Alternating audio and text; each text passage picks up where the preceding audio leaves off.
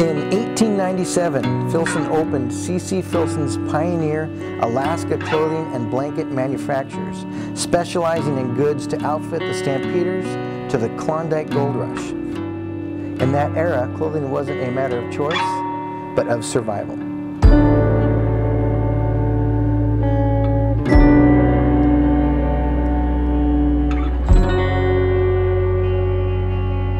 The Filson Company started in Seattle in 1897, uh, outfitting the, uh, the gold rush, uh, the individuals who were on their way up to Alaska. And this was one of the, the last stops on your way up. So from there, we, uh, we entered into the logging industry.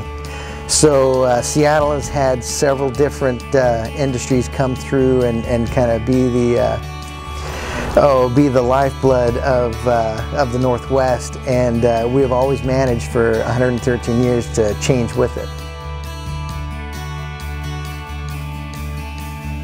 I've, I've looked at tons of old black and white pictures, and you see like you see company signs that used to make boot makers and you know hat like hat makers and all these like gentry shops and all that stuff is gone but that's one thing that's great about Filson is they were around then, they're still they're still around now, they're still downtown, they still have that presence, so they really are kind of a monument to the city.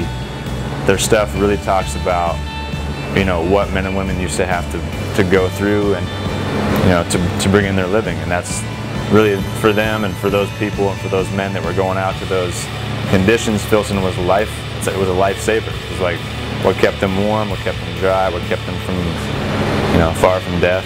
So yeah, it really is, it's a, it's a great monument to the city in that way because it tells a story about the city.